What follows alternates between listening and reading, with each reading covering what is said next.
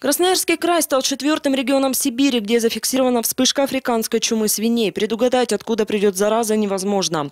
Ранее вирус охватил районы Иркутской, Омской и Новосибирской областей. Сейчас специалисты проводят расследование, откуда неизлечимая чума попала к нашим соседям. Не исключают, что вирус занесен из центра России. В деревне Языково Красноярского края уже объявлен режим ЧС. Вспышку вируса обнаружили накануне на одной из свиноводческих ферм. Более тысячи голов свиней придется уничтожить.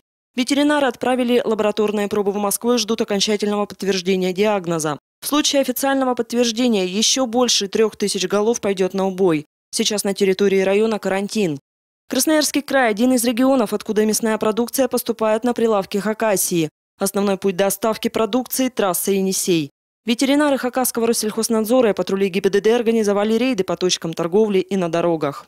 Будут выезжать ежедневно и сотрудники будут находиться на большее усилие будет ориентировано на трассу М-54. Досматривается все автотранспорт, весь автотранспорт, перевозящий животноводческие грузы, в том числе и продукцию из мяса свинины.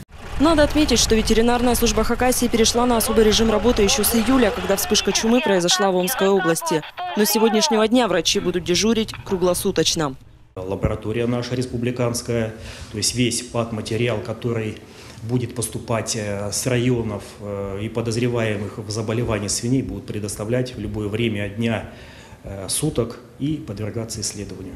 Столь жесткий ритм работы неизбежен. С момента заражения хрюшка может погибнуть через пару часов, а вирус пойдет дальше. Ветеринары предупреждают фермеров, корм нужно обязательно проваривать. В предыдущих случаях животные заразились именно через пищевые отходы. Также нельзя привозить свинину без согласования с ветеринарами, так как мясная субпродукция идет в Хакасию, в том числе из неблагополучных территорий. Катерина Ирушина, Василий Кузьмин, РТС.